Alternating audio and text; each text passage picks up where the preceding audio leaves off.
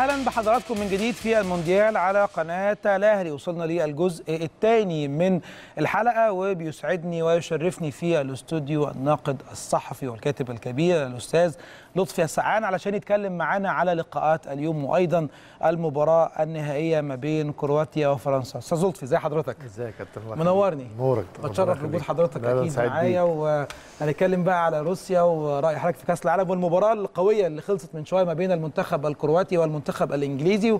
وحضرتك تابعت المباراة لكن المباراة بدأت عكس المتوقع أو عكس ما آه، انتهت. انجلترا تقدمت على منتخب كرواتيا 1-0 لكن كرواتيا بعد لقاءين 120 دقيقة وعندها إجهاد بدني غير طبيعي بتفاجئ الجميع وتتعادل مع المنتخب الإنجليزي وكمان بتروح مع المنتخب الإنجليزي لوقت إضافي وبتفوز عليه.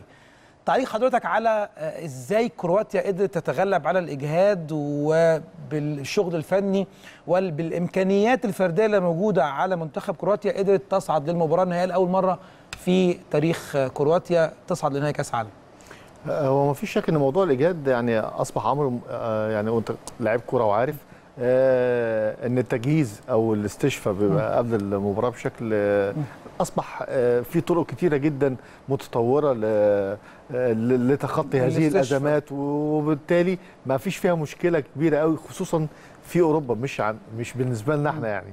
آه، مستوى ال- ال- المباراة آه، الناس كانت شايفة إن إنجلترا هتركب المباراة بشكل كبير طب إيه السبب يا أستاذ لطفي؟ إيه السبب اللي خلى النقاد الرياضيين والمحللين وأنا كنت واحد منهم أنا شايف إن كافة منتخب إنجلترا كانت أرجح من المنتخب الكرواتي. آه، منتخب إنجلترا حتى هذه اللحظة يعتبر أصعب منتخب قبله في البطولة هو منتخب كرواتيا. صح. يعني من وجهة نظري طبعا. إن ده أصعب تونس بنما حتى المباراة أمام منتخب بلجيكا كانت مباراة تحصيل حاصل.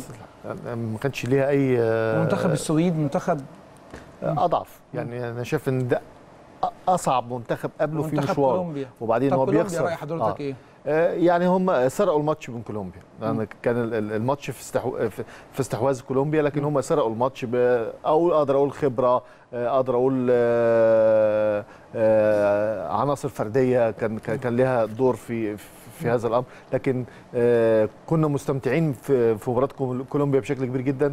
كنا متعاطفين مع كولومبيا انها تكسب. لكن في النهاية آه، هم كراتهم أسرع هم خبرات آه، آه، مجموعة آه، معظمها في الدوري معظمها إيه؟ كلها في الدوري الإنجليزي دي ميزة أستاذ لطفي يمكن السنين اللي قبل كده كنا بنلاقي إن الدوري الإنجليزي نادرا لما بنلاقي فيه نجوم كبيرة ممكن يكون جيل سابق قبل كده كان في لامبورد جيرارد آه وين روني كانوا موجودين في إنجلترا لكن دلوقتي الجيل الحالي اللي موجود هو آه معتمدين عليه بشكل كبير قوي في معظم الأندية اللي بتلعب. يعني مانشستر سيتي هنلاقي إن في خمس ست لعيبة موجودين في القائم الرئيسي لنادي آه مانشستر سيتي موجودين في المنتخب. منتخب عندنا كمان أندية جديدة دخلت زي ليستر سيتي زي إيفرتون.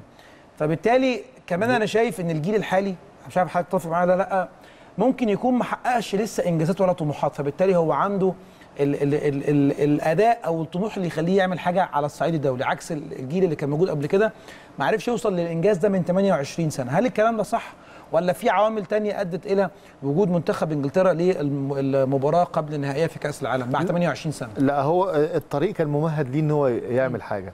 طبعا آه، مع بدايات البطولة كلها آه، بعد أول بعد الأدوار التمهيدية أنت مستواك بيرتفع بشكل تلقائي تمام. لأن مستوى الطموح بيختلف مستوى تمام. التفكير بيختلف مستوى آه، المنافسة بتختلف سواء آه، بالنسبة لي أو بالنسبة للمنافس فأمر طبيعي جدا إن هذا الجيل كان لابد إنه يدور على نفسه على مكانة مرموقة اللي وصل لها أجيال كثيره جدا في إنجلترا وحققت فيها آه، أرقام قد تكون بالنسبة للكرة الإنجليزية مهد كرة القدم هي أرقام تناسب أو آه، هؤلاء اللاعبين ولكن لا تناسب دولة إنجلترا كمهد كرة القدم. تمام. فأمر طبيعي جدا إن هذا الجيل إن هو كان يدور نفسه على أماكن جديدة يضع فيها نفسه على الخريطة الكروية من قلب أفضل دوري في العالم من قلب آه، ال- البلد التي آه، ولدت فيها كرة القدم نعم. فأمر طبيعي جدا إنهم كانوا بيدوروا على مكانة جديدة جدا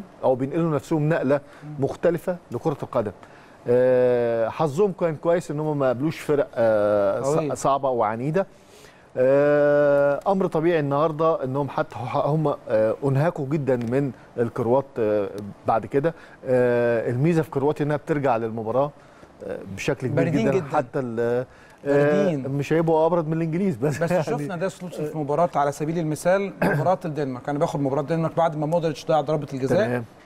ممكن منتخب غير كرواتيا كان يحصل له ارتباك. كان ممكن يخسر بضربات الجزاء. بالعكس مودريتش لعب تاني ركلة جزاء في المباراة وسجل. وصعدوا للمباراة النهائيه وصعدوا للدور اللي بعد كده. هل حضرتك شايف إن إن إن ده ليه عامل نفسي كمدير فني بيتعامل مع اللعيبة ولا الثقة اللي موجودة عندهم دي بتبقى حاجة جاية من شخصية اللاعب نفسه اللي جاي كل واحد من نادي من نادي كبير في أوروبا فده بينعكس على داخل الملعب. هي كل اللي حضرتك قلته مجتمع. أمر طبيعي إن المدير الفني يبقى ليه دور كبير جدا في هذا الأمر النفسي. أمر طبيعي إن الثقة ديت في مجال الاحتراف. موجودة اوريدي يعني انت انت بتتعلمها من صغرك انك انت إزاي تبقى واثق من نفسك إزاي انك تقدر تعود للمباراة بشكل كبير إزاي ان انت تقدر تتغلب على أحزانك في المباراة بشكل واقعي. آه، كل ده اللعيبة بتتعلمه بره بشكل تدريجي في مراحل سنية مختلفة وبشكل تنظيمي كويس انك انت بيبقى فيه أخصائي نفسي طبعا. آه، أخصائي تغذية يعني ب- برضو ال- ال- الحاجات دي كلها بتأهلك إزاي إن أنت ترجع للمباراة. إحنا ما عندناش الحاجات دي فعشان كده بنحس دايما إن إحنا إيه بعاد عن الموضوع. لكن آه، أمر طبيعي جدا إنك أنت تلاقي آه، المنتخب آه، المنتخبات واللاعبين بيقدروا يرجعوا بسرعة. ده أنا شايف إن المدير الفني بيبقى عليه العامل الأكبر.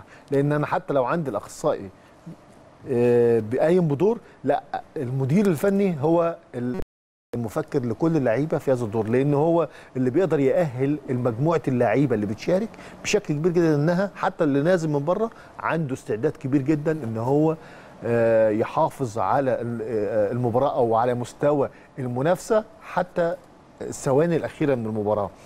ده إحنا ربما ما بيحصلش آه، بشكل طب كبير ليه لكن علاقة بجنسيته لوتسي؟ ليه علاقة بجنسية المدير الفني؟ يعني. وطني ولا أجنبي مع لا مالهاش مع علاقة. مالهاش علاقة. ما يورجن كلوب ألماني. أخدت أخدت السؤال مني ليه؟ دايما ليه اخدت السؤال مني؟ آه ألماني وفي إنجلترا أو لكن قريب من اللعيبة بشكل كبير. كنت هقول لحضرتك إيه؟ محمد صلاح مع يورجن كلوب غير محمد صلاح مع هيكتور كوبر. مع إن ده طبعا الاثنين أجانب وده مصري لكن العامل النفسي مع الاثنين بنحس إن محمد صلاح بيبدع وبيتألق مع ليفربول وبيحاول يعمل أقصى حاجة عنده دايما 150% مع منتخب مصر مع هيكتور كوبر في كأس العالم شفناه إن هو يعني ممكن معنوياته ممكن آه، إن هو متضايق بعض الشيء. لو ده بيحصل في ليفربول فيورجن كلوب بيعرف يخرج منه الإحباط بيعرف يخرج منه الزعل. نفسيا بيتعامل معاه كويس لكن طبعاً. ملهاش علاقة بجنسيات لا لا لا خالص ملهاش علاقة بالجنسيات لا هو ال- ال- ال coach coach في أي مكان. ملهاش علاقة. آه كرة القدم تتخطى موضوع الجنسيات والسياسات وكل وكل شيء لأنها في النهاية رياضة. فأمر طبيعي جدا إنك أنت بتتعامل بغض النظر عن الهوية بتاعتك. أنت النهارده موجود في نادي ما بتقولش أنا بلدي كذا لا بتقول أنا مدير فني كذا. آه، أمر طبيعي جدا إن آه، كوبر ما يبقاش بنفس ال- ال- ال- القوة مع محمد صلاح. آه، لاختلاف المدرسة يعني لأن آه، دي بتبقى فروق فردية في المدربين ما بيبقاش كل المدربين بت- بتبقى ماشية على نفس النهج. في في مدربين بيبقى عنيف حتى في- في التعامل مع اللعيبة ما بيبقاش بالشكل ال- ال- المرضي دايما. لكن بتلاقي دايما حد مكمل ليه اللي هو بيقوم بالدور اللي بي اللي, اللي, اللي, بي بينقص عند المدير الفني. فدايما تلاقي في عناصر تانية إضافية في الجهاز بتقوم بتعوض ال- النواقص اللي بتبقى موجودة عند المدير الفني اللي هي الحاجات المكملة للشغل الفني. فأمر طبيعي إن ده بيحصل في منتخبات كتيرة لكن إحنا عشان بنوصل لده عندنا إحنا اولا بنسخر من العلم فما بنحبش آه، جداً. نقرب منه. بالف... و- بن... إحنا بنحب الفهلوة عن العلم. الفهلاوه عندنا زايدة جدا. فلما تيجي تتكلم تقول أخصائي نفسي يقول لك آه خلاص ما اللعيبة اتجننت فاحنا جايبين لها حد يعالجها. فما بناخد الأمور بسخرية بشكل كبير جدا مع إن ده علم ويعني آه الناس كلها بتسير عليه لكن إحنا في النهاية آه للأسف الشديد بنقلش على كل حاجة في في, الحياة وبعدين لما نيجي نتكلم فيها آه تصدق ده كانت ناقصانا وبتاع بس إحنا يعني مش واخدين عليها. لا أنا دايما عندي وجهة نظر. طول ما انت ما بتقتحمش المشكلة في بدايتها دايما بتزيد عندك المشاكل وبتكتر. فبالتالي بتفضل تعالج. ما بتاخدش المبادرة انك انت تحل وتدور على ان انت بت بتزيل هذه المشاكل مبكرا. عشان كده إحنا إحنا خطواتنا ثابتة. إن لم نكن آه، بنتراجع. ما بتحسش إن أنت عندك تقدم في شيء. حتى يعني صلاح هو آه، صلاح في في مكانة تانية غير اللعيبة المحترفة. صلاح وصل لمرحلة اللاعب العالمي مش اللاعب المحترف أو اللاعب المعار أو اللاعب الموظف أو اللاعب المنتدب. دي كلها مسميات تنطبق على محترفين في الخارج. باستثناء محمد صلاح هو في حتة لوحده. بيلعب في مكان تاني. محدش لسه آه قدر يوصل له ومحدش عنده الطموح إنه يوصل له للأسف الشديد. لكن أكيد هيبقى آه الأرض دايما خصبة بتطلع. أكيد هيبقى عندك حد تاني. لكن من آه عشان يبقى عندي واحد تاني زي صلاح محتاج إن أنا برضو عدد من المدربين كويسين جدا عدد من المدربين مؤهلين. انت النهارده لسه مش عارف هتقدر تجيب مين من مدربين في منتخب مصر. مش عارف تت... مش عارف تختار حتى المساعد. مش مش المدير الف... يعني انت محد... يعني مش لاقي مدير فني ومش لاقي مساعد. ودي كارثة لأنك انت ما حد ما حاولتش ولو لمرة إنك تاخد خطوات جادة نحو التجهيز. منتخب بلجيكا هؤلاء آه، مجموعة آه، الفدائيين كانوا بيعد لهم من حوالي من 2002 من تقريبا 2002 آه، 2002 2002 2002 16 سنة. مم. يعني 16 سنة انت انت بتجهز هؤلاء لهذه الموقعة. فبالتالي في ناس شغالة من زمن تخطيط تخطيط. إنما إحنا إنما إحنا ما بنعتمدش على الكلام ده. إحنا شايفين إن إن موضوع الفهلوة خلاص هو أصبح السمة السيدة في مصر. آه أي حاجة إحنا بنتغلب عليها. وطبعا بما إن المنظومة كلها قايمة على كده خلاص ما فيش ما فيش ما فيش أمل إن أنت يبقى عندك حاجة. منضبطة أو حاجة مثالية. على الأقل تقدر تقول والله أنا عملت واحد اتنين تلاتة لا ده أنا عندي جيل مثلا في الناشئين ده قدامه كام سنة ده هيبقى آه، مستقبل مصر في كرة القدم. ده مش موجود. حتى اللعيبة اللي موجودة عندك أنت مش قادر تقرب منها بشكل رسمي إنك تقول والله ده أنا عندي تصنيف level واحد فلان وفلان وفلان. level اثنين فلان وفلان وفلان. حتى ده مش عندك. حتى بعد كأس العالم قلنا اللعيبة يبقى عندها عروض أفضل. حتى هذه اللحظة. تاني أفضل لاعب في منتخب مصر تريزيجيه مش لاقي مكان إحنا. هنتكلم عليها بعد ما نخرج من لسه كلامنا مستمر عن المدربين لكن جه وقت آه، الجمهور المصري في إنه يختار مين هو أفضل مدرب في بطولة كأس العالم روسيا 2018 هنروح ونسمع ونشوف تقرير ونرجع نكمل مع حضراتكم.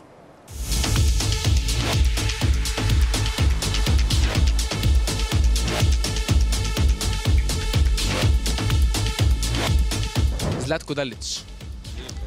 آه علشان معاه مجموعة مش قوية قوي زي بتاعت كرواتيا وقدر يكسب بيها فرق زي الأرجنتين ووصل بيها لنص النهائي لتاني مرة تقريبا في تاريخ كرواتيا. ومجموعة مجموعة ما فيهاش تقريبا عن كام لعيب بس هم الكبار يعني. أفضل مدير فني آه، يعني ليه تأثير آه، في كأس العالم هو فرنسا. فرنسا إن فرنسا كذا بقى كذا فترة. يعني ن- نتيجة مش كويسة في المونديال بس انت أنت يعني هي المرشح الأقوى السنة دي إن هي تاخد ال- الدورة دي إن هي تاخد كأس العالم. أنا شايف أنا شايف كده. مدير فني منتخب بلجيكا مارتينيز. عشان يعني هو بمساعدة طبعا هنري مساعد المدير وعامل أداء آه، رهيب مع المنتخب وبيعرف يضع الخطة و- وله مساعدات و... والله هو مدرب آه، بلجيكا كابتن مارتينيز. ده مدرب كويس جدا. وبيعتمد على الطريقة الهجومية في الأول وفي الآخر. آه، طريقة بلجيكا بتلعبوا 3 5 2 آه، يعتبر اللع- اللعيبة الخبرة كلها منزلها في الملعب. مدرب كرواتيا على التوليفة اللي هو عاملها وعامل ثنائي كويس في خط النص بين مودريتش وك... وك... وراكيتيتش الاثنين عاملين خط نص متميز. وفي سرعات كتيرة عنده بروزوفيتش وعنده كذا لاعب برضو على الخطوط بيعمل بيهم سرعات على الجناب في الهجوم المرتدة. وبرضو إن هو عارف يوقف لعيبة كتير زي مثلا في ماتش الأرجنتين هو قدر يوقف ميسي وما ما عرفوش يعملوا معاهم أي أداء. فهو المنتخب مش اسم كبير بس عرف يوصل لنص النهائي لغاية دلوقتي وبأداء متميز وكويس.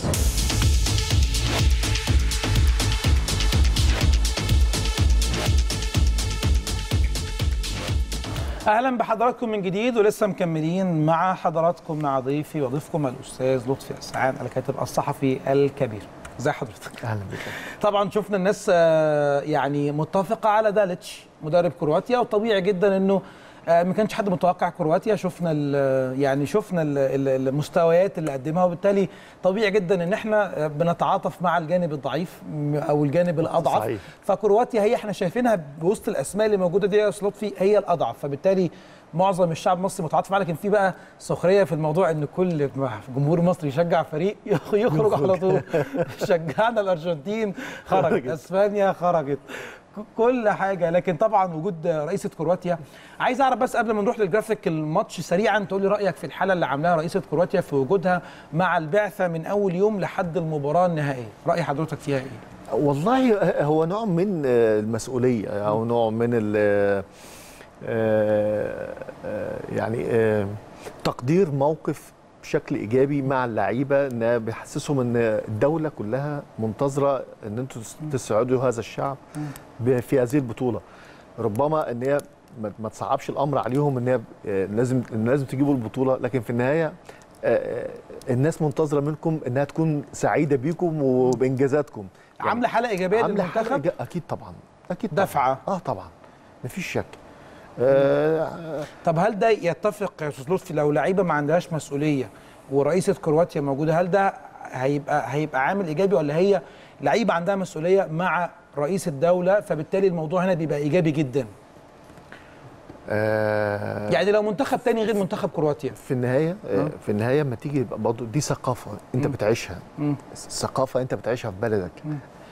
كابتن أنا اللي بعودك. أنا كبلد صح. أنا اللي بعودك على النظام. أنا اللي بعودك على أسلوب التعامل. أنا اللي بعودك. ده ده في أي مكان في العالم. لكن مش من الطبيعي إن أنا كلاعب اللي بفرض اللي بقود الإدارة. يعني ما ينفعش لاعب في المنتخب هو اللي بيقود الإدارة. لا الإدارة هي اللي بتقود اللاعب وهي بتقود المدير الف... وهي بتقود المنظومة كلها. ده غير ده غير مش موجود عندنا. لكن هناك أمر طبيعي جدا إن في منظومة مختلفة أنت بتتعود عليها دايما. أمر طبيعي أنت شفت كمية السعادة اللي كانت على اللعيبة وهي معاهم في في في غرفة خلع الملابس بعد المباراة و, و... و... يعني بتطالبهم بال... بالمزيد عشان يحققوا ال- الكاس وإزاي يسعدوا شعبهم وإزاي يقدموا مباراة كويسة وإزاي الروح الرياضية. حضرتك عارف كرواتيا عدد سكانها كام طبعا؟ 4 مليون. 4 مليون. وإحنا 100 مليون. هم عندهم مش بالعدد مش بالكتره مش بتكلم أنا آه. بتكلم إن هم عندهم لعيبة موجودة في أحسن الانديه اللي في العالم. وإحنا من 100 مليون عندنا لاعب وحيد بس هو اللاعب محمد صلاح اللي أنا شايفه طفرة. زي ما حضرتك قلت إن هو ما فيش حد عنده طموح إنه يوصل لمحمد صلاح. كل الطموحات موجودة لكن بنسب ان هي تبقى قريبة. دوري إنجليزي يكون موجود دوري إسباني يكون موجود لكن الحلم إن أنا أكون أحسن لاعب في العالم أو أحسن لاعب في الدوري الإنجليزي ده ده, ده مش موجود. فمش عارفين السبب. هل السبب بسبب أيضا إن العاداتنا وتقاليدنا والأفكار اللي إحنا اتربينا عليها ان مستحيل نوصل للناس دي ولا ولا الفكرة جاية منين؟ هو إحنا ما تربناش على أفكار هو إحنا مشينا كده. يعني هي سياسة فهلاوة برضه سياسة القطيع اللي ماشية بالفهلاوة. فيمشي ورا فلان فكله بيمشي ورا فلان مم. لأن فلان ده هو أهم واحد في في المنظومة فيمشي وراه فكلنا هنبقى زي الفل لكن في النهاية فلان ده يفتقد حاجات كتير جدا هو أصلا غير جدير بقيادة هذه المنظومة لكن عشان تقول الكلام ده وعشان تغير المنظومة هو هو الاتحاد السوفيتي آه، انهار إزاي؟ انك حطيت الراجل غير المناسب في المكان المناسب. ده تاريخ بقى. ده تاريخ يا لطفي بقى أنا ما أعرفش. فللأسف الشديد ده ده ال- ال- ال- اللي إحنا بنواجهه. لكن عشان نق- نقوم انت محتاج تبدأ من تحت. لا- لأن عشان آه، القاعدة، تخلق هي تخلق قواعد طبيعي. تخلق قواعد حقيقية مم. مش وهمية. مم. تخلق قواعد حقيقية لكن مش كل مرة أقول لا ده أنا عندي منتخب ناشئين ماتشين وبروح من أفريقيا ما فيش ما بكملش. دايما المنتخبات بنسرحها ما فيش ما فيش حتى مدير فني في الاتحاد يقدر يقول لك إحنا في في 20 30 هيبقى خطتنا إيه؟ أو إحنا مين في 20 30 إحنا إيه؟ إحنا رايحين فين؟ أو جايين منين؟ ما حدش عارف حاجة. ولما تيجي تتكلم آه أنت هيكل عندك مسميات لكن على أرض الواقع أنت أبيض ما عندكش حاجة. لا إحنا هنقدر نواصل بالشكل ده. آه عايز تجيب مدربين أجانب هات مدربين أجانب ما عندناش مشكلة. عايز يبقى عندك مدرب محلي أهل المدرب المحلي إنه يبقى مدرب قومي. مهم جدا إن أنا أقدر أهل اللي أنا شايف إن هو يقدر يقود. لكن ده أنت النهارده مش قادر تقول إن أنا عندي فلان برشحه مدير فني منتخب مصر. مش قادر تقول عندي معاون للمدير الفني اللي جاي الأجنبي. مش قادر. لانك كل ما تطرح اسم عليه مشكلة. هل طب في طب نفس الوقت هل تدخلات يعني هل فعلا ان إن أي اسم بيتم طرحه؟ يعني ده السؤال عايز أسأله حضرتك وأعرف إجابته. هل فعلا اللعيبة ممكن تتحكم في حاجة زي دي؟ أنا سمعت إن في بعض الأقاويل إن في في ترشيح مدير مد يعني مدرب عام أو مساعد. بعض اللعيبة اعترضت ورشحوا مدرب تاني. هل الكلام ده ممكن يحصل فعلا بيحصل. في المنتخب؟ بيحصل. طب هل الكلام ده ممكن يحصل في كرواتيا في انجلترا في إسبانيا؟ هل ممكن في إنيستا مثلا يقول ان أنا لأ آه، آه، آه، لويس إنريكي مش بحبه فلأ مش عايزه يشوف لي مدرب تاني؟ لا ما فيش الكلام ده. طب ليه بيحصل في مصر؟ عشان إحنا اتعودنا على عشان إحنا اتعودنا إحنا على كده. بنسمح بحاجة زي كده؟ ما هو طول ما انت كمنظومه ضعيف فأمر طبيعي جدا إن القوي بيفرض سيطرته عليك. فالقوي النهارده اللعيب هو أقوى عنصر في في المجموعة. لأن معلش أنا اللي بلعب مش مش مش الإدارة اللي بتلعب. أنا اللي بلعب وأنا اللي بجيب أجوان وأنا اللي بكسب وأنا اللي بخسر وأنا اللي بعمل فالدفة كلها في إيد اللاعبين أكتر من الإدارة. الإدارة ما هي بتوفر وبتجهز استعداداتها لكن في النهاية اللاعب رقم واحد هو هو المسؤول أمام الجمهور. ان إن أنت لما بتكسب الناس بتسقف لك لما بتخسر الناس بتهاجمك. فأمر طبيعي جدا إن هو بيبقى له دور في تحديد هوية الشخص اللي جاي. طيب النهارده ليه أنا ما بفرضش؟ طب ما أنت مش قادر تفرض لسبب واحد. لأن أنا نفسي بختار على هوايا بختار اصحابي اللي بيسهروا معايا. بختار اللي بيدافعوا عني في الفضائيات. بختار اللي بيكتبوا عني كويس. بختار اللي بيجاملوني. بختار القريبين مني. بختار أهل آه، الثقة مش أهل الخبرة فبالتالي أنا بعدت تماما عن المنظومة. فبالتالي خرجت فبسمح لغيري إن هو يقول رأيه في تحديد شخصية المدرب. لكن ده ما بيحصلش في أي مكان. لكن ممكن يحصل بشكل أو بآخر بس بشكل فني وعلمي. اللي هو أقدر أقول طبعاً. إيه؟ أقول إن المراحل السنية في الوقت ده من من أعمار بتتراوح من كذا لكذا. المدرب الوحيد اللي نجح في هذه الأعمار كان فلان. ممكن أجيبه لهم. هنا يبقى في تقييم فني وعلمي لكن ده مش موجود حتى ده مش مطروح. يعني حتى ده مش مطروح. طيب أشوف مين المدربين اللي قدروا يشتغل. هو في مدرب مسك منتخب مصر يا- كابتن وكمل بعد كده في أمور طبيعية. مفيش حد بياخد دورات أعلى ليه؟ مفيش حد بيسافر معايشات بره ليه؟ مفيش حد بيروح ياخد تجارب مختلفة حتى في الإدارة كقائد فني. محدش بيروح. ليه؟ هل معنى ذلك إن مفيش ورش تبع الفيفا؟ في. بس مين بيروحها؟ طب هل بيتم الإعلان عنها عن قبل اتحاد الكوره؟ ما إحنا بنعرف بعد كده.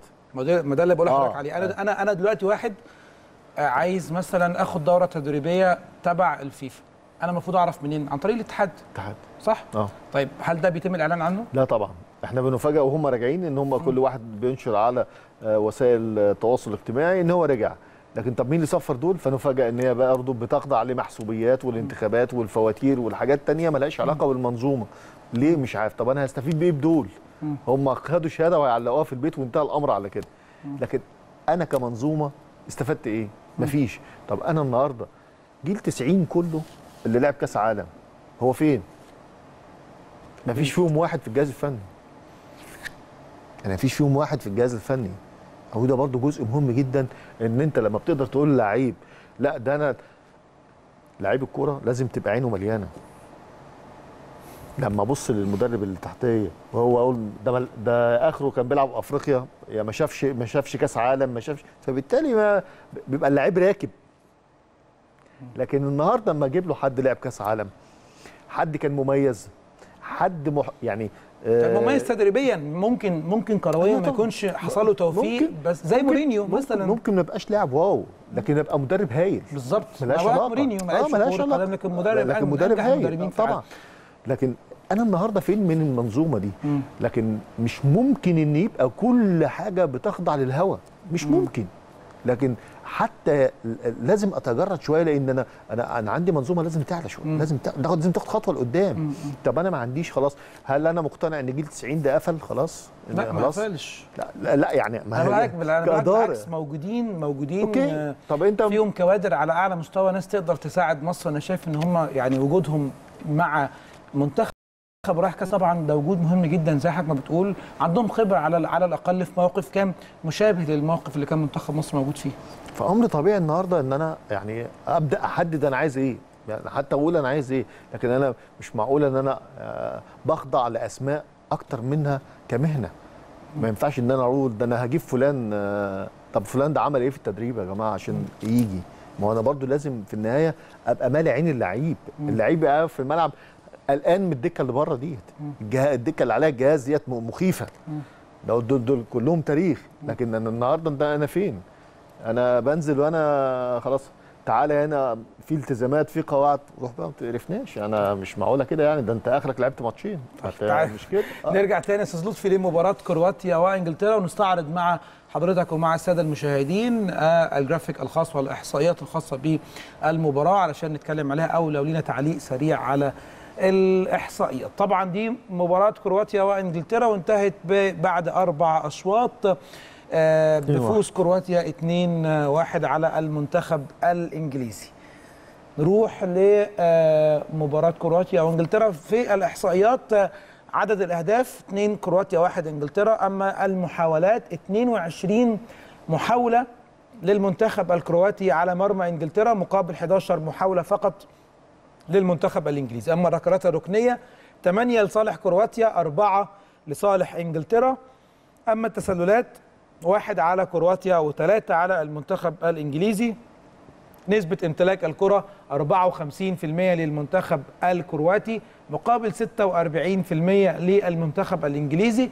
دقة التمرير 79% للمنتخب الكرواتي مقابل 78% للمنتخب الإنجليزي. أما الأخطاء المرتكبة 23 خطأ على المنتخب الكرواتي مقابل 14 خطأ على المنتخب الإنجليزي. أما استعادة الكرة من بقى أي التحامات وتدخلات خاصة بالمنتخبين 51 مرة استعاد المنتخب الكرواتي الكرة و48 مرة استعاد المنتخب الإنجليزي الكرة.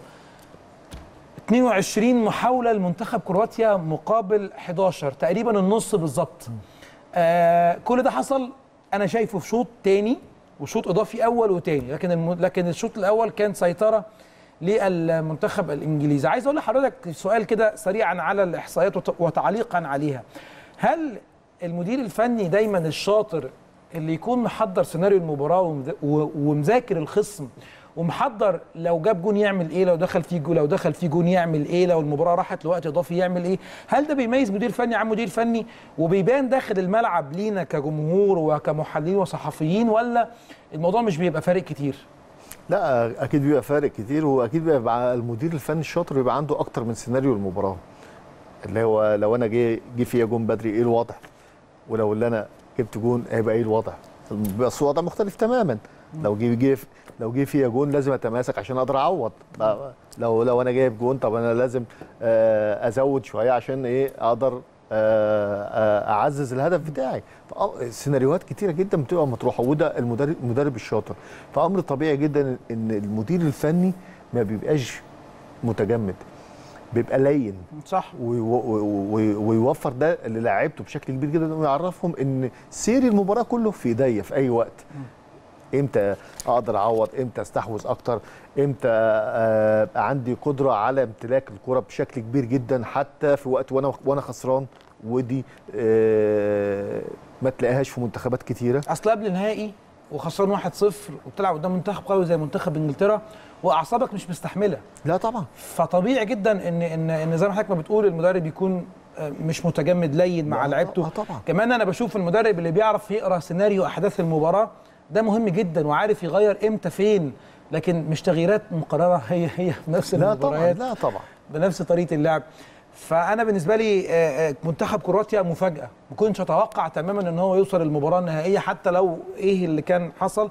أنا منتخب كرواتيا كنت بتابعه بشكل معين يا أستاذ لطفي اني بشوفه قدام الفرق اللي بتلعب كورة هو منتخب كويس. لكن بيبقى عنده مشكلة أمام الفرق اللي بتقفل زي الدنمارك زي ما شفناه أمام المنتخب الروسي. لكن اثبت العكس إن هو بيعرف آه، يبقى الند بالند ويكسب فتتوقع كرواتيا ممكن تفوز بالبطولة ولا ولا فرنسا دي شامب والأسماء اللي موجودة يعني خلاص وصلنا لمرحلة بقى إيه اتنين منتخبين فعلا أقوياء آه، آه، هو بالفعل دول أقوى منتخبين في البطولة ما خسروش ولا اللحظة. مباراة. آه يعني بالأمانة أقوى فرقتين في البطولة يعني نهائي عن استحقاق آه أنا شايف إن ال- الموج الأزرق آه صاحب البشره السمراء في في منتخب الديوك سابقا. آه بس هو هي هي يعني هو الموضوع حضرتك عارف إن اللغة الفرنسية بيبقى ليها أمر طبيعي أمر طبيعي. صدفة حتى صدفة أمر- حلوة. آه أمر طبيعي. لكن في في النهاية آه، يعني لما تقول ده منتخب فرنسا يعني صعب إنك أنت تهضمها بسرعة. لكن هم عاملين حالة غير عادية بصراحة.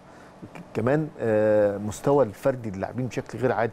كمان المستوى ال- ال- ال- ال- ال- العنف الإفريقي يعني غالب برضو يعني إلى جانب اللمسات الفنية العالية جدا. إلى جانب إن أنت النهارده معاك مدير فني بيعرف يتخطى الصعاب بشكل كبير جدا. كابتن منتخب فرنسا لعب كأس عالم عنده خبرة أيوه طبيعي. شال كأس العالم. هي عارف إيه. الخبرات اللي موجودة؟ طبيعي. معاه نجوم هايلة برضه معاه منتخب هايل. يعني ما منتخب عندوش غلطة. يعني آه الخبرة لا لا لا منتخب ما هايل. غلطة ما عندوش لا- غلطة. لا منتخب هايل بصراحة. فأمر طبيعي جدا إنك أنت صعب إنك أنت تخ... لكن أكيد أكيد مرا... كفة فرنسا أعلى من كفة كرواتيا. مؤكد. فرق برضو إنك أنت فريق بطل حتى تاريخيا. تاريخيا فرنسا آه، بطل كأس 98. العالم 98 أقصى حاجة لكرواتيا كان ثالث في 98 برضه يعني خسرت من فرنسا قبل النهائي. أيوه. 2-1 مباراة ترام الشهير فأمر طبيعي جدا إنك أنت النهارده ال- الكفة بتميل ناحية فرنسا. لكن الملعب هيقول إيه؟ ده وضع تاني. خسارة ديشامب في اليورو الأخير أمام البرتغال ممكن تأثر عليه شوية من الناحية النفسية؟ خسر اليورو الأخير 1-0 قدام البرتغال في مباراة هزيلة جدا للمستوى البرتغالي والمنتخب البرتغالي كسب كده صدفة وحظ. هل شايف إن ده ممكن نفسيا يأثر على اللعيبه أو على ديشامب لا لا. أمام منتخب كرواتيا؟ لا. آه، كوبر خسر 13 نهائي ما ومستمر. ومستمر. ما استسلمش. ما استسلمش. فالراجل يعني ما أعتقدش إن هو من اول من أول مرة كده يسلم. بسهولة. لا لا صعب. طيب شايف حضرتك بقى يعني عموما كأس العالم البطوله عاملة إزاي؟ هل آه، بطولة مختلفة؟ حضرتك أكيد عاصرت بطولات عالم كتيرة. ما أنا بالنسبة لي أول بطولة عصرتها كانت 94 94 يعني كان عندي أربع سنين. ف 94 98 لا 2002 لا أول بطولة كانت 82 طيب الاختلاف بقى يعني من 82 ل 2018 شايف حضرتك النسخة الحالية إيه أهم مميزاتها؟ وهل هي من أقوى النسخ؟ ولا في نسخ تانية حضرتك كنت شفتها آه، آه، كانت أقوى؟ وهل خلاص كأس العالم اللي جاي بعد كده مش هيبقى فيه منتخبات نجوم؟ هيبقى كلها منتخبات آه، جماعية؟ ولا ممكن يطل علينا منتخب زي مارادونا كده 86 أو منتخب يبقى بيعتمد على النجم ده ويعود تاني من جديد لبطولات العالم. آه لا طبيعي إن إحنا كنا بنعتمد على بنتفرج على كورة آه زمان أقوى من كده. آه منتخبات كان فيها نجوم كتير جدا. آه النهارده أنا حتى المنتخبات اللي فيها نجوم يعني ما أقدرش أقول إن البرازيل نيمار بس ما أقدرش لكن بس هو البارز. هو البارز. لكن في النهاية أنا ليا النتيجة. النتيجة النهائية بالمنتخب. مش مش مش شايف إن هو كان له دور آه، آه، طب قوي والارجنتين جدا. آه، الأرجنتين ميسي. نفس الشيء نفس الشيء. مش ميسي بس؟ مش ميسي. كل المنتخبات اللي بتقول إنها فرد واحد لا ما فيش. طب البرتغال؟ البرتغال آه، ادت رونالدو. أدت ما عليها وانتهى الأمر. يعني مش منتخب رونالدو؟ لا ما لا ما أقدرش أقول منتخب رونالدو. آه هو هو الأبرز وهو المقاتل وهو المقاتل. آه ما أنا بقول لحضرتك. وهو سجلها هو المقاتل وهو ال- ال- المسيطر رقم واحد لكن في النهاية آه، ادوا مباراة كويسة في ضوء آه، الأداء الجماعي بتاعهم. ما- عشان كده إحنا ما بنشوف شفناش منتخبات بتقول أنا بتاع لاعب واحد. وده الطبيعي جدا في الكورة لأن هي لعبة جماعية. يعني وبالتالي كل المنتخبات اللي بتقول إنها لعيب واحد هو إحنا في 86 هو كان مارادونا آه، كانت الدنيا كلها مستنية آه، بس هو أبرز فرقة. لاعب. لكن هو اللي غير المنظومة لأن هو بس كان معاه مين برضه؟ يعني بس إحنا في التاريخ مش عارفين غير مارادونا. آه، جميل جميل. بس بس بس كان معاه فرقة معاه فرقة. لكن هو قدراته وقتها آه قدرت إنها توصل الارجنتين لكأس عالم. فأمر طبيعي. لكن النهارده ما تقدرش تقول إن في لاعب وصل بلده لكأس عالم. لا أقدر أقول في فرقة. مارادونا ولا بيليه يا أستاذ لطفي آه الكورة وقت بليه كانت حاجة ووقت مارادونا كانت حاجة تانية. عشان ما نيجي نقول إن في مقارنة على الأسطورة هل يستحقها بليه بليه يستحقها في عصره. مارادونا يستحق يستحقها في عصره.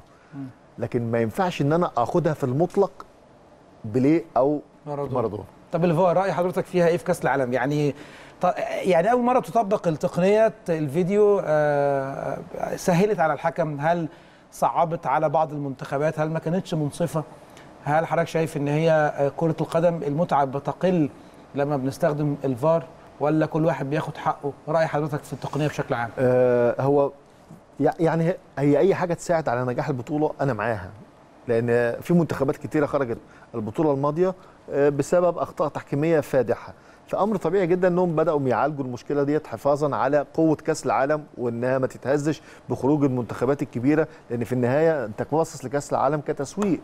آه أنت بتحقق أرقام كبيرة جدا آه من خلال البطولة من شركات الرعاية. فبالتالي ما ينفعش إن أنا أبقى قاعد آه، بتفرج على كاس عالم. آه، في فرقة فيه ضعيفة والفرقة الكبيرة خرجت بشكل آه، في ظلم كبير ليها. آه شايف إن في ناس استفادت منها واللي طبعاً. استفاد منها الفرقة الكبيرة بس للأسف. يعني ما شفناش فرقة صغيرة استفادت منها. صح. فهو ده واضح برضو. مشكلة. آه آه، واضح برضو إن نفس الفكر التسويقي مسيطر وغالب عليها. فهي الهدف منها واضح إنها بتحافظ على الفرق الكبيرة فقط. ما بتحافظش على الفرق الضعيفة حتى في حقوقها. حتى انت ما بقتش عارف انك إيه إمتى تطلب ان انت إيه ترجع للفيديو مرة تانية عشان تتأكد من ال- الخطأ. والحكم قد يكون آه، متساهل وخلاص يقول لك اللعيبة نفسها ما اعترضتش فخلاص فمشي حالك فمفيش فيها مشكلة فما ما ما ما ما يعني ما تعملش أزمة من لا أزمة. فشايف إنها أضافة لكن آه، واخدة وقت. يعني يعني يعني واخدة وقت فبالتالي آه، محتاج إن إحنا إيه؟ نقلل الوقت ده. عشان ما- تفقدش لذتك من الكورة. لسه مكملين مع حضراتكم وكلامنا عن الفار. هنروح نشوف ونسمع تقرير عن الفار ونرجع نكمل مع حضراتكم في المونديال على قناة الأهلي.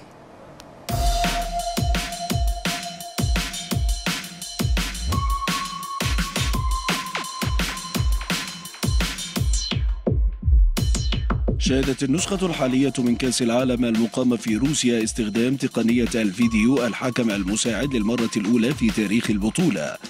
جاء هذا القرار من جانب الاتحاد الدولي لكرة القدم فيفا لتحقيق العدالة بين المنتخبات المشاركة وللحد من أخطاء الحكام. جاء اعتماد إنفانتينو رئيس الفيفا استعمال تكنولوجيا حكم الفيديو والتي طبقت بالفعل في بعض المسابقات الكبرى مثل الدور الإيطالي والدور الألماني. بغرض مساعدة الحكام في اتخاذ القرارات الصحيحة بينما يمنح كل طرف في المباراة حقه خلال مجريات اللقاء. اتضح من مباريات المونديال الحالي مدى التأثير الكبير لتقنية الفيديو التي تدخلت في العديد من اللقاءات. كان أولها لقاء فرنسا أمام أستراليا ضمن منافسات المجموعة الثالثة. حيث تم احتساب ركلة جزاء لمصلحة أنطوان غريزمان في الدقيقة السابعة والخمسين من عمر المباراة على أثر تدخل التقنية الجديدة. ساهمت تقنية الفيديو في تسجيل رقم قياسي للمونديال الحالي حيث تم احتساب 27 ركلة جزاء حتى الآن. تم تسجيل 21 منها وأهدرت ست ركلات. استفاد 16 منتخبا من المنتخبات المشاركة في كأس العالم من التقنية الجديدة. كان المنتخب الإنجليزي الأكثر حظا بين هذه المنتخبات حيث سجل الإنجليز ثلاثة أهداف في المونديال الحالي عن طريق ركلات جزاء. جميعها سجلوا في لقاء بنما في مرحلة المجموعات. بينما جاءت منتخبات فرنسا كولومبيا أستراليا خلف إنجلترا باحتساب ركلتي جزاء لكل منهم في المونديال. احتسب لكل من بلجيكا روسيا كرواتيا البرتغال اليابان تونس نيجيريا المكسيك إيران أيسلندا مصر. ركلة جزاء وحيدة في مونديال روسيا. تخطى كأس العالم الحالي عدد ركلات الجزاء المحتسبة في ثلاث نسخ سابقة من المونديال كانت أعوام 2002 98 و90 حيث شهدت النسختان الأولى والثانية في إيطاليا ألمانيا احتساب 18 ركلة جزاء. بينما احتسبت 17 ركلة جزاء في مونديال كوريا واليابان ليسجل بذلك مونديال روسيا رقما قياسي وليصبح المونديال الأكبر في تاريخ كأس العالم الذي يتم فيه احتساب ركلات جزاء منذ بداية البطولة في عام 1930 بمونديال أوروغواي. بالإضافة إلى تحقيق المونديال الحالي لرقم مميز وذلك بعد احتساب خمس ركلات جزاء في يوم واحد ليأتي بذلك ثانيا بعد مونديال فرنسا عام 98 الذي شهد احتساب ست ركلات جزاء.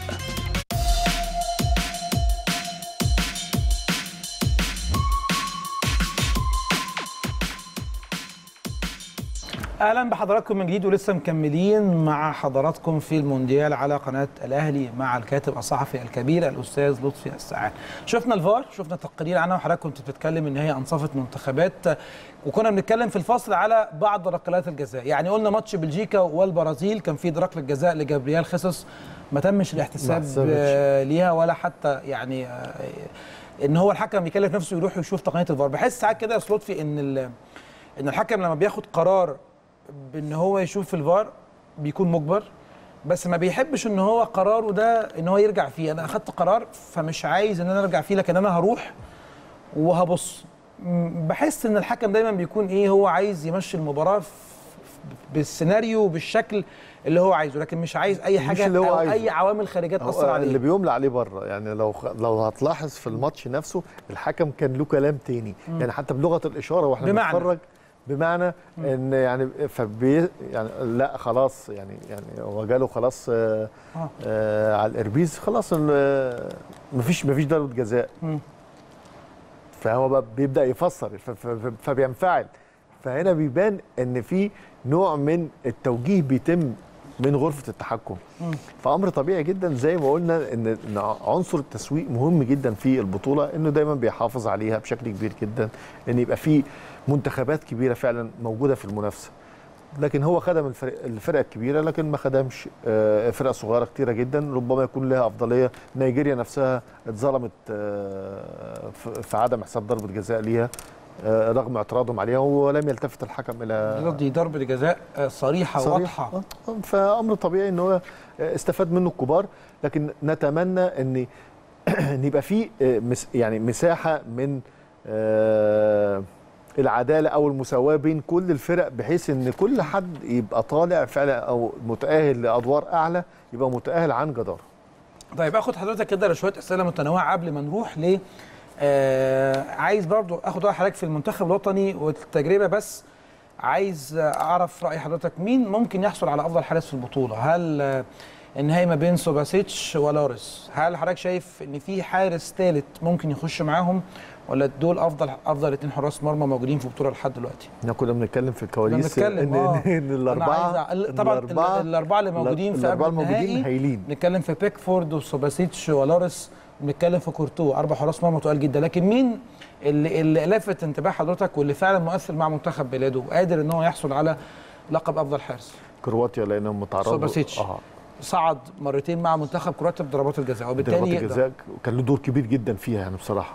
فشايف إن هو آه، الأفضل في ال- في هذه البطولة. هل الحراس ليهم ليهم آه، آه، شكل مختلف في البطولة دي وهل هم ليهم تأثير على منتخباتهم بالايجاب أو حتى بالسلب في آه، مونديال. روسيا آه 2018 مهم جدا مهم جدا.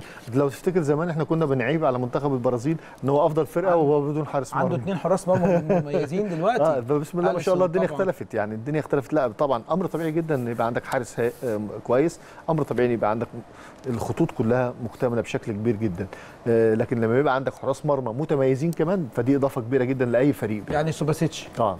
آخر كلام. آخر كلام. طيب ده كان رأي الأستاذ لطفي. تعالوا نشوف ونتابع تقرير مع الجمهور ونشوف هم اختاروا مين كأفضل حارس في بطولة كأس العالم روسيا 2018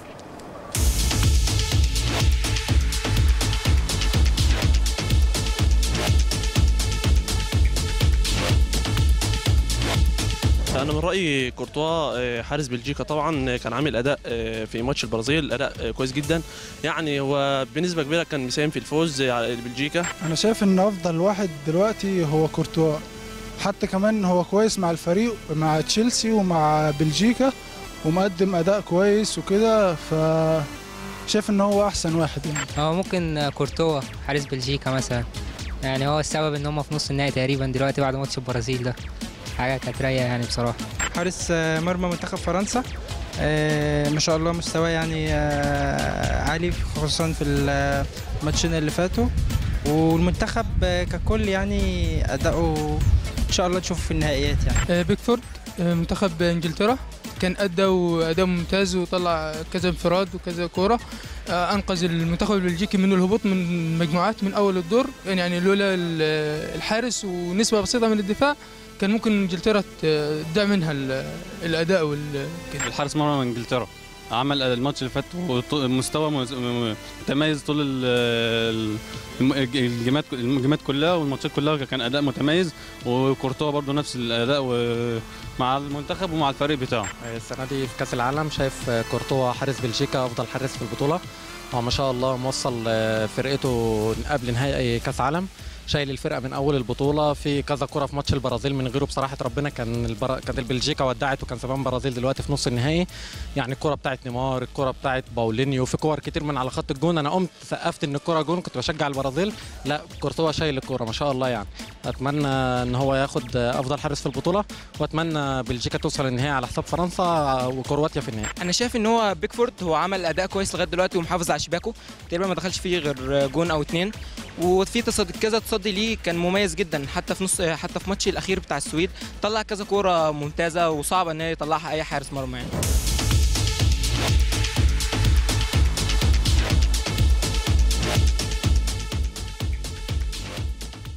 أهلا بحضراتكم من جديد ولسه مكملين مع ضيف وضيف حضراتكم الأستاذ لطفي السعد. عالم في المونديال على قناة الأهلي. شفنا أفضل حارس ناس مختلفة لكن أكيد ده يعني في الآخر أعتقد إن أنا أنا متفق مع هو في حضرتك السياق الأربعة على آه لكن في أنا متفق مع. حضرتك على سوباسيتش هو أفضل حارس مرمى في البطولة. طيب لو رحنا لأفضل لاعب مين تفتكر إنه قدر يكون قوة كبيرة مع منتخب بلاده وقدر إنه يقود منتخب بلاده إلى آه آه إلى أبعد نقطة موجودة في كأس العالم وكان فعلا مؤثر بأدائه وبوجوده داخل الملعب، عندنا أكتر من لاعب، لكن اللي ممكن يحصل عليه هو مين؟ مبابي امبابي. آه آه، يعني إمكانياته قدراته. حد حد صغير في السن. عنده عنده 19 سنة. وبعدين، آه، وهيلعب كأس نهائي وهيلعب نهائي كأس عالم. لا وغير كده ده يعني انت امبارح كل حاجة في الكورة بيعملها لك. مش ممكن يعني يعني بيلعب بلياردو ما بيلعبش كورة. مش مودريتش. لا لا لا أنا شايف يعني ممكن يجي بعديه. لكن أنا شايف إن مبابي بصراحة نقل فرنسا, فرنسا. نقلة تانية. آه، لاعب هايل جدا وبعدين آه، في مميزات آه، كبيرة جدا واضحة على فرقته. ما أنا ما بقيس إن هو إمكانياته الشخصية لوحده. لا أنا بقيسها كمان. حرام يلعب في الدوري الفرنسي. حرام. آه، أكيد بس يعني هي لغة المال هي اللي بتحكم في في المسألة يعني. لما لما لما يكبر وي- وي- ويفهم شوية هيمشي.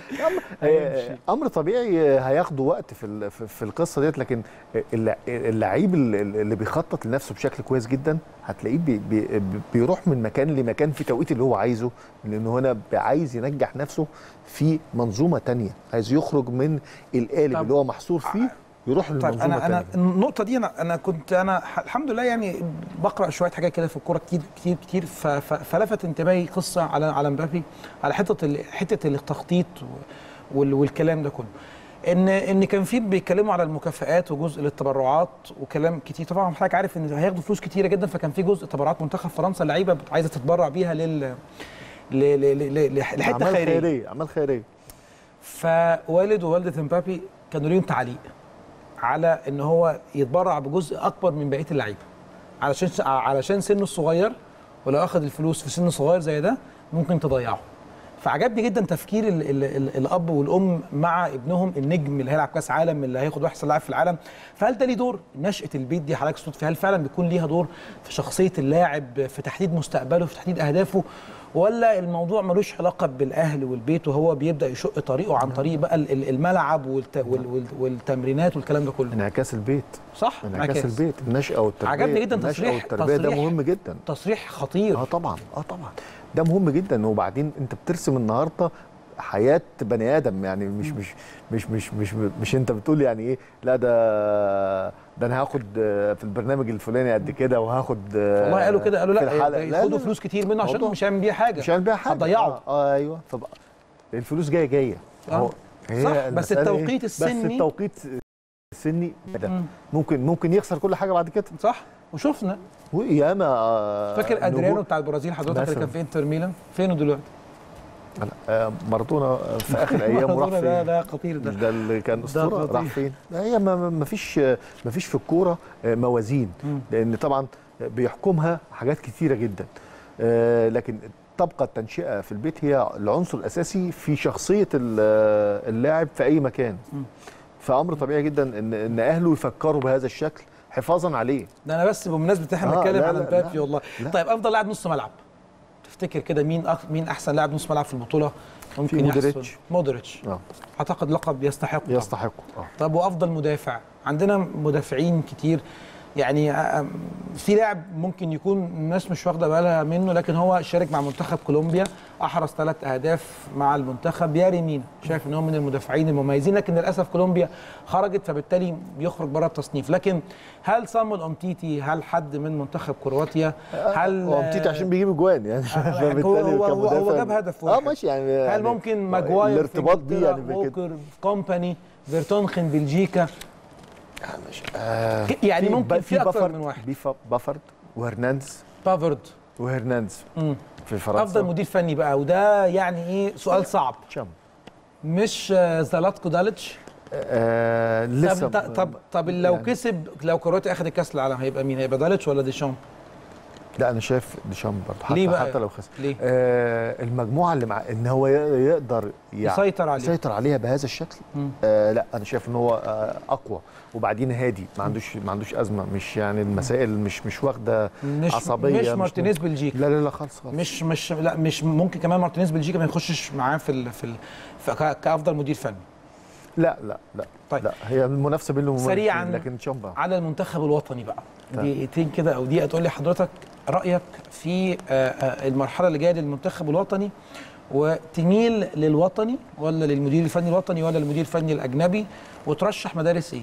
لو أجنبي طبعا. آه، بداية مفيش مد- مدير فني محلي أو وطني ينفع لقيادة المنتخب الوطني. تمام. عشان نبقى واضحين. واحد. آه اتنين آه لازم مدير فني أجنبي.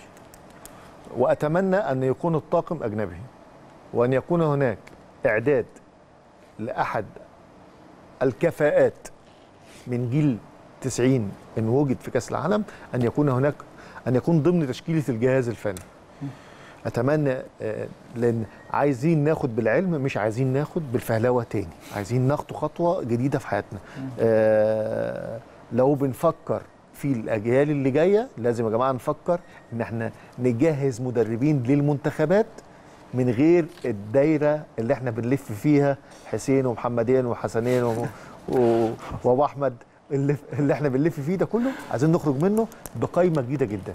عايزين نقول لو عندنا حد كويس يا جماعة نقدر نأهله من دلوقتي يا ريت نشتغل بدري عليه وإن إحنا نأهله للإدارة الفنية للمنتخبات غير المنتخب الأول أستاذ لطفي شرفتني ونورتني على وجودك معايا واستمتعت بوجودك أنا في كلامك عن كأس العالم دايماً. ربنا يخلي حضرتك. دايما تكون موجود معانا ومشرفنا على قناة. الأهلي. كنا مع حضراتكم على مدار ساعتين من الساعة 10 حتى الساعة 12 في المونديال على قناة الأهلي وتابعنا معاكم لقاء كرواتيا وإنجلترا واللي انتهى بفوز كرواتيا 2-1 وصعودها لنهائي بطولة كأس العالم لأول مرة في تاريخها. بكرة إن شاء الله إحنا إجازة ملك وكتابة هيبقى موجود في نفس الميعاد. هنرجع لكم تاني يوم الجمعة إن شاء الله في المونديال على قناة الأهلي الساعة 10 بالليل. نشوفكم يوم الجمعة على خير وتصبحوا على خير. السلام عليكم ورحمة الله وبركاته.